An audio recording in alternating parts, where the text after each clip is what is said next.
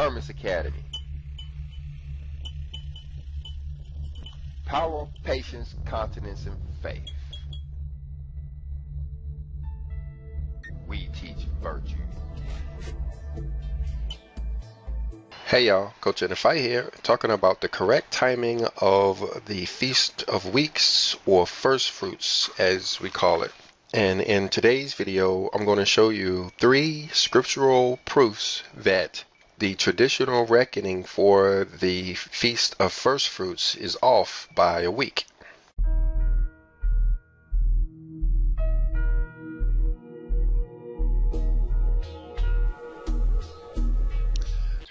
Now, if you're not sure what I'm talking about, let's come over to the book of Leviticus, chapter 23, which is a chapter all about the statutes or the holy appointments of our Father. That's where we hear about Passover and Atonement Day and the memorial blowing of trumpets, along with the mandatory festivals, including the Sabbath day, all in one chapter. Now we're going to jump all the way down to verse 9 where it starts talking about the Feast of First Fruits. Now, one element of the timing is where it says, When ye be come into the land which I give unto you. I don't plan on covering that particular part in this video. What I do want to cover is down in verse 15 where it starts telling us when the Feast of First Fruits is. It says, And ye shall count unto you from the morrow after the Sabbath, from the day that ye brought the sheaf of the wave offering, seven Sabbaths shall be complete. Now, I do need to point out how the wording of this is slightly different over in the Septuagint translation of the Bible. There, when you read verse 15, it says, From the day on which you shall offer the sheaf of the heave offering, seven full weeks. So, whereas the King James Version says, Seven Sabbaths shall be complete, the Septuagint says, Seven full weeks. Now, that does make a difference when we're trying to reckon exactly when this day is especially when you look at verse 16, where it says, Unto the morrow after the last week shall ye number 50 days in the Septuagint. And the King James Version says, The morrow after the seventh Sabbath. Now, you can see why the translators could have assumed that these verses are saying the same thing, while one is saying after the seventh Sabbath, and the other one is saying seven full weeks, well, that's actually a difference of one day. The week is full on the Sabbath day. So the Septuagint is pointing to a Sabbath day, while the King James Version is pointing to the day after the Sabbath day. That's a one day difference. But anyway, we'll come back to that because those seven full weeks is talking about the end of the Pentecost. And there's really no need to try to understand the end of the Pentecost until we understand the beginning of those 50 weeks. So let me show you the first scriptural evidence that the current reckoning of the Feast of First Fruits is actually off by a week. Now, we're looking at a website called tedmontgomery.com, which is one of many websites that will give you the dates of the feast days. So let's look in the year 2022 when it's saying that the Feast of First Fruits falls on April the 17th. And we know that they're using Passover and unleavened bread interchangeably. So it is talking about that week long festival, which means that according to their reckoning, the Feast of First Fruits and the second day of the Feast of Unleavened Bread are on the same day two festivals on the same day. And this is the way they reckon it every year. You see, in 2024, they're saying that the week long festival of Passover or unleavened bread starts on April the 23rd, but the Feast of First Fruits starts on April the 28th, so it would land in the middle of the week. And again, you have two feast days on the same day. How can you call them separate festivals when they actually land on the same day? Well, hold on, because that brings me to my scriptural proof and how that is that they are in conflict with one another if they fall on the same day. You're looking here in Leviticus chapter 23 and verse 6. It says, And on the fifteenth day of the same month is the feast of unleavened bread unto the Lord. Seven days shall ye eat unleavened bread. So, looking back here at Ted Montgomery for the year 2022, he's saying that that week long feast started on April the 16th. And the way I count, it should end no earlier than about April the 22nd, a week later. But you see the Feast of First Fruits in the middle of that week. But notice back here in verse 6, it's saying that we must eat unleavened bread. We must eat unleavened bread. It's a requirement of the festival to eat unleavened bread during that week. Well, notice verse 14, where it's talking about the feast of first fruits. And notice that it says, And ye shall eat neither bread, nor parched corn, nor green ears, until the self same day that ye have brought an offering unto your God. So this is telling us not to eat bread. Verse 6 says that we're supposed to eat bread for the entire week. And verse 14 says that we're not supposed to eat bread after the feast of first fruits. So they are actually in conflict with one another if they land on the same day. Because you have the Feast of Unleavened Bread starting on the 15th day of the month and lasting, and lasting all the way to the 21st day of the month. But the traditional reckoning has the day of first fruits landing on the 17th, right in the middle of that week. So, whereas for the Feast of Unleavened Bread, you are commanded to eat bread for the entire week. The Feast of First Fruits says to stop eating bread, so you can't actually do both. They're actually in conflict with one another. There's no way to do the Feast of First Fruits and the Feast of Unleavened Bread correctly unless they fall on different days. So this is scriptural proof that the Feast of First Fruits can't be during the Feast of Unleavened Bread, else it would create a conflict. And as we know, the scripture has no conflicts. So when does the day of first fruits actually start? Now, we learn over in the book of Jubilees that the Feast of Weeks and the Feast of the First Fruits go together. They are a twofold festival.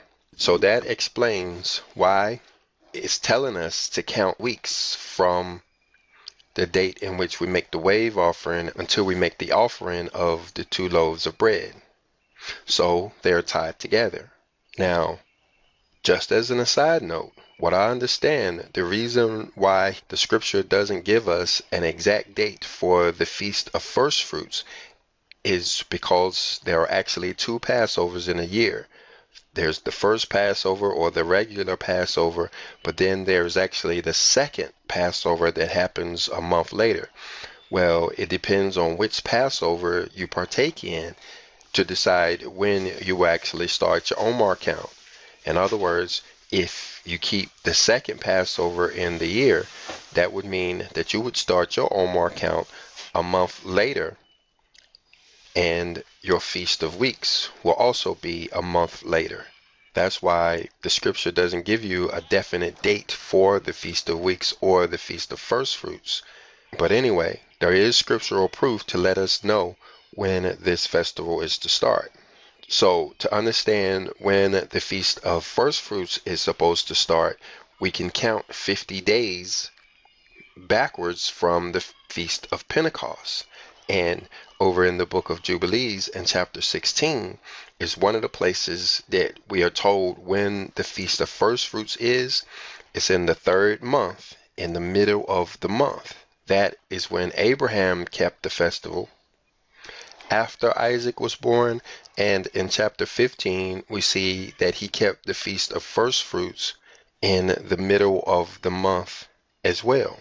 But if we want to know exactly when the festival of first Pentecost is supposed to land, we have to look in Jubilees chapter 44 when it's talking about Israel, or Jacob, and when he kept the feast of first fruits. You see here in verse 1 that on the new moon of the third month, or the beginning of the third month, he went to the well of oath. And then you see he offered a sacrifice on the seventh day of that same month. And then when we drop down to verse 3, you see that he remained there for seven days. So that's seven days after the seventh day of the month. And you see that then he celebrated the harvest festival of first fruits.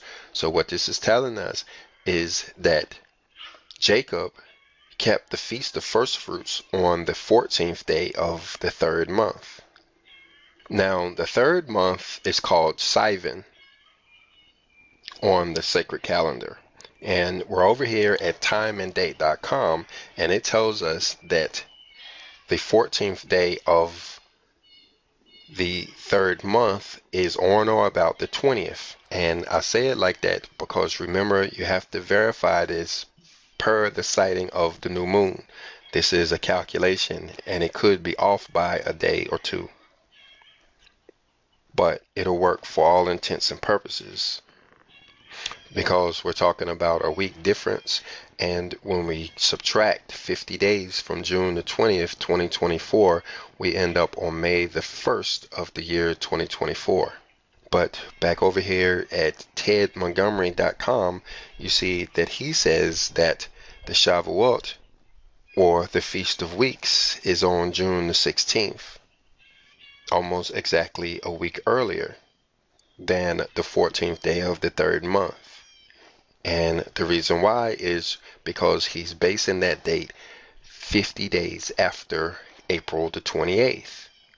But we've already shown that April 28th cannot be the correct day, or you would have a conflict between the Feast of Unleavened Bread and the Feast of First Fruits. And we also know that June the 16th is not the correct day because it doesn't fall in the middle of the month. The middle of the month is the 14th and the 15th day of the month. And that brings me to my last level of proof, and that's how the Feast of Pentecost has to fall on a full moon. We see that in the book of Sirach in chapter 43, how the moon is the sign of the feast days. And we see that in Psalms 81 when it's talking about the appointed times on the solemn feasts, those are talking about the three mandatory festivals that we find in the Book of the Covenant. Those are the Feast of Harvest, or First Fruits, or Pentecost as we like to call it. But it also includes the Feast of Unleavened Bread and the Feast of Ingathering, or the Feast of Tabernacles. Those are the three mandatory festivals in the year and they all fall on full moons. So with this information, it's clear that when it said that Abraham celebrated the Feast of Pentecost in the middle of the third month, it was talking about the full moon of the third month. So when you're looking back at the date calculator and subtracting 50 days from the correct date of Pentecost, you end up on May the 1st, and you see that that puts you completely out of the Feast of Unleavened Bread, so that that day falls on his own day, the first day of the week after the Feast of Unleavened Bread had ended, which is the same day that the Messiah appeared to all of his disciples after his resurrection. You remember that they saw him the day that he was resurrected, but he instructed them not to touch him at all but it was on the eighth day after his resurrection that he not only commanded them to touch him, but he ate food and he actually communed with them for a while, doing something similar to what we could consider a wave offering. So, there you have it the correct timing for the Feast of First Fruits. And in the year 2021, that would be on May the 6th.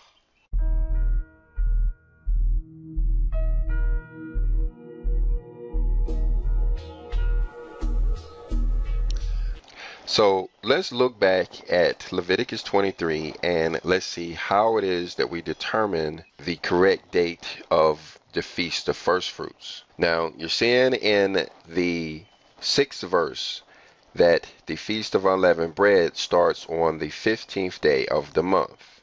You see how it talks about we should eat unleavened bread for seven days. Verse 7 talks about how the first day is a holy convocation and we do no servile work. Verse 8 says that we should have an offering made by fire for seven days and that the seventh day is also a holy convocation. Then that feast day is up. So, looking at this calendar for the biblical first month, you see, unleavened bread starts on the 15th, and you celebrate it for seven days, with the seventh day being on the 21st day of the first month. Then it goes on to start talking about another festival, the Feast of First Fruits. Again, we still have yet to address this part where it says, When ye become into the land which I give unto you. We'll cover that in another video. But you notice in verse 10, unlike the other times that it's telling us of feast days, it's not telling us the, the exact date of this festival that is calling first fruits. It's telling us to give a sheaf of the first fruits unto the priest. But in verse 11 is the first time we see when it is actually supposed to be, and it says, On the morrow after the Sabbath, the priest shall wave it. So remembering back up there what we read in verse 8, how we have already completed the feast of unleavened bread, this, what it's talking about down here in verse 11, is saying that the wave offering is to take place after the Sabbath day, after the feast is over. So there you have the feast of unleavened bread. Then you have the Sabbath after it is over, and then you have the Feast of First Fruits starting the day after the Sabbath on the first day of the week, which would have been the eighth day after the resurrection. So when you keep the Feast of First Fruits in the first month, the Feast of Unleavened Bread starts on the 23rd day of the first month and when you keep the Feast of Passover in the second month, it will start on the 23rd day of the second month, and you would count 50 days from that to the Feast of Pentecost. So in the year 2021, the first Feast of First Fruits will be on May the 6th. Well, when we look for the calculation for the new moon that will fall in May, we'll find that the sighting of the moon will probably be on the evening of the 12th of May, making the 13th of May the first day of the second month. So if the 13th is the first day of the second month, the 20th will be the eighth day, the 27th will be the 15th, when the Feast of Unleavened Bread will start.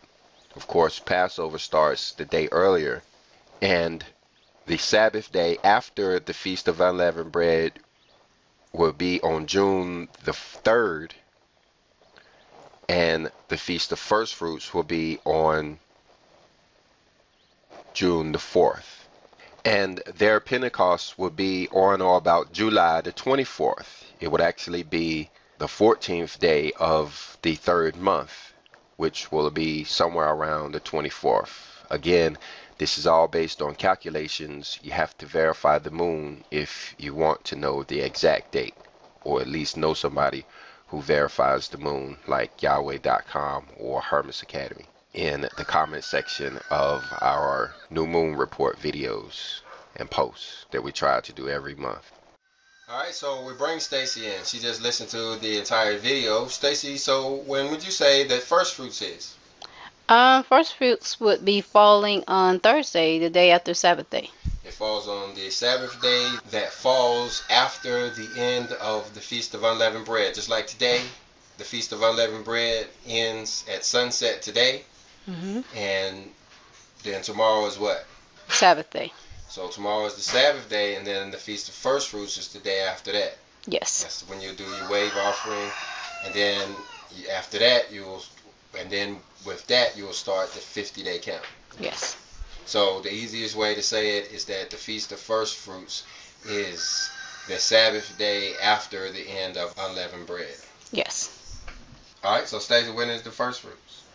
You want me to say it the way you want me to? No, say it the way you want to say it. The first fruits is the feast of the first feast of first fruits starts the first day of the week following the feast of unleavened bread.